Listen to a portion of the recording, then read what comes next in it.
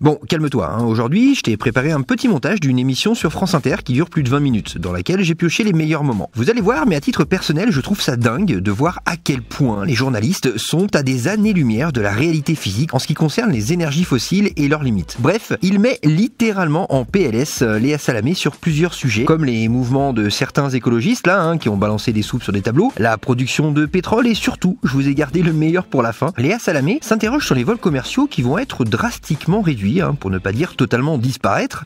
Bref, vous allez le voir, mais sur cette question, elle me fait un peu penser à un enfant qui veut son Kinder Bueno. Même si on lui dit qu'il y en a plus, bah elle comprend pas. Euh, euh, et là ils sont stupéfaits. Hein, elle le veut quand même. Elle trouve ça trop injuste. Et la réponse de Jean Covici, elle est excellente. Bref, c'est parti mon petit bonhomme. Euh, il faut quand même savoir qu'en 2018, l'Agence internationale de l'énergie a dit que la production mondiale de pétrole dit conventionnel, c'est-à-dire tout ce qui n'est pas le pétrole de schiste et les sables bitumineux, était passée par un maximum en 2008 que depuis ça déclinait et que c'était le déclin terminal, c'était irrémédiable. J'en ai entendu parler nulle part dans les médias. Enfin, sauf quand vous êtes venu parler de votre bande dessinée. Oui, d'accord, mais euh, je. Non, non, mais euh, euh, je, fais la petite parenthèse. nulle part sauf Epsilon, mais je veux dire, hmm. ma, présence ici n'est pas l'ensemble des médias, c'est hmm, heureusement. bien sûr. Par contre, le grand n'importe quoi, il est passé sur les solutions aux problèmes.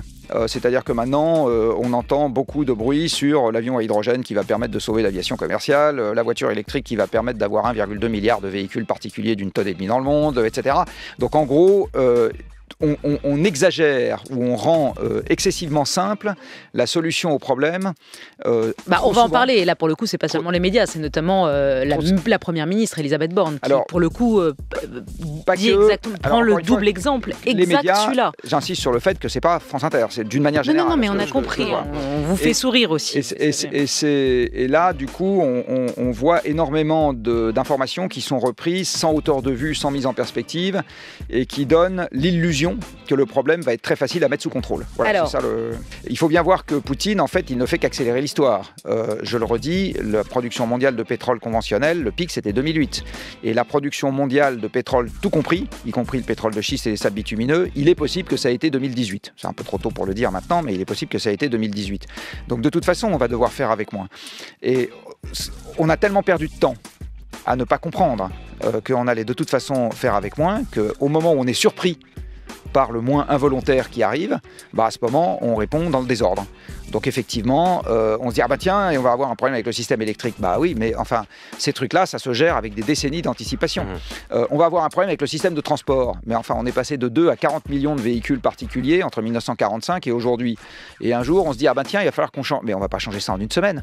Donc en fait, c'est ça notre problème, c'est qu'on n'arrive pas à raisonner sur les bons horizons de temps. Mmh. Je vais donner un exemple de sobriété, qui est un exemple qui ne porte pas sur l'essentiel de la consommation de pétrole dans ce pays, mais qui est le 110 sur autoroute. Alors, justement. Euh, sauf à ce que j'ai été très mal informé, je comprends que notre première ministre n'y est pas très favorable. Non, elle a dit non. Or, c'est une mesure de sobriété. Et non seulement c'est une mesure de sobriété, mais c'est une mesure de sobriété à laquelle, sauf à ce que je sois également très mal informé, la majorité de la population est désormais favorable. Donc je ne comprends pas ce qu'elle fait. Euh, Elisabeth Borne a déclaré par, par, ailleurs que la transition énergétique va de pair avec la croissance et la création d'emplois. Elle va accompagner la réindustrialisation et permettre l'émergence de secteurs et de filières d'avenir. Euh, transition énergétique et croissance, croissance verte. Vous êtes d'accord ou c'est un mythe?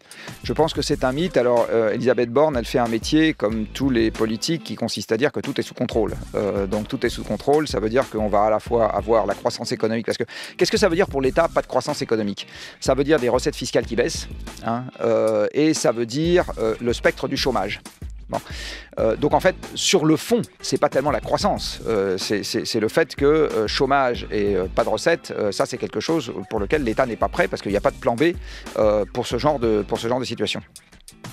Quand on regarde ce qui a fait la croissance économique des deux derniers siècles, c'est essentiellement l'ère des machines, donc l'ère de l'énergie. En fait, l'énergie renouvelable, c'était la totalité de l'énergie qu'on utilisait il y a deux siècles et demi, et la civilisation industrielle a consisté à sortir des énergies renouvelables, et pas du tout à y rentrer. Et, là, on y retourne aux énergies renouvelables. Alors oui, mais est-ce qu'on va garder la civilisation industrielle? Euh, ce dont on a fait la preuve pour parler des énergies renouvelables, euh, en particulier de l'éolien et du solaire, parce qu'en général c'est ça qu'on a en tête quand on parle d'énergie renouvelable. Ce dont on a fait la preuve sur les 20 dernières années, c'est qu'on savait fabriquer plus d'éoliennes et de panneaux solaires dans un monde qui par ailleurs a doublé sa consommation de charbon et a augmenté de 50% sa consommation d'énergie fossile. Donc en fait, dans un monde mondialisé où c'est très facile de mettre en France le résultat de l'exploitation des mines ailleurs, de la pétrochimie ailleurs et des porte-conteneurs partout dans le monde, on a fait la démonstration que dans ce contexte-là, mm. on savait installer des éoliennes et des panneaux solaires. Mais est-ce qu'on saura toujours le faire dans un contexte dans lequel il n'y a plus de mondialisation, plus de porte-conteneurs et plus de camions? Pas sûr. Jean-Marc Jancovici, sur ces euh, nouvelles formes de militantisme bah, en fait, c'est quelque chose qui existe depuis quand même assez longtemps. Euh, la manifestation publique euh, est un truc qui existe depuis assez longtemps. le fait que dans le cadre de manifestations, il puisse y avoir des gens qui bloquent des trucs ou etc., ça existe depuis assez longtemps. La, soupe sur les tableaux, vous en pensez quoi, vous? Bon, c'est anecdotique. Oui, mais vous dites on s'en fout, il y a la vitre ou vous dites bah le geste et... Ah oui. oui, enfin je veux dire, c'est pas la soupe sur le tableau, c'est la soupe sur une vitre. Euh, bon, donc euh, on a sali une vitre. Ok, bon, c'est peut-être pas la peine d'en faire tout un fromage. L'avion, pour terminer. Euh, vous dites dans le Parisien, je suis à titre personnel favorable à un système communiste. Riche ou pauvre, vous auriez droit dans toute votre vie à trois ou quatre vols par avion dans votre vie, dont deux dans la jeunesse.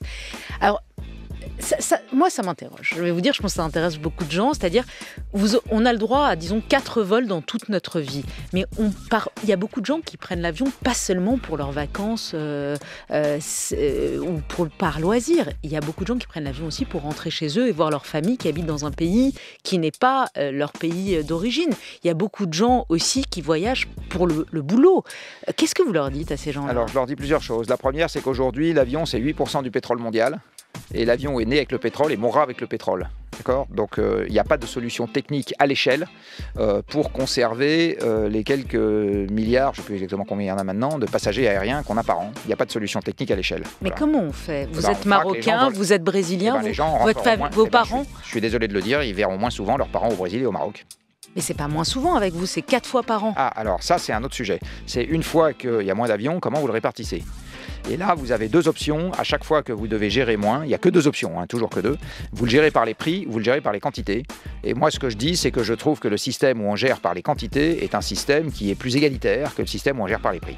Donc quatre fois dans une vie entière. Non, mais je dis quatre, ça peut être deux, ça peut être cinq, j'en sais rien, j'ai pas fait les calculs. Mais l'idée, c'est encore une fois, c'est gérer par les quantités plutôt que gérer par les prix. Mais philosophiquement, c'est quand même l'idée que chacun reste chez soi en fait. On va ah, pas découvrir d'autres civilisations, on va pas. vous savez, les gens qui prennent l'avion pour aller se mettre dans un hôtel dans une autre ville ou qui se mettent dans un voyage organisé ou qui vont euh, dans un village de vacances, je pense que la découverte d'une autre civilisation, c'est un terme qui peut être euh, un peu exagéré. Voilà.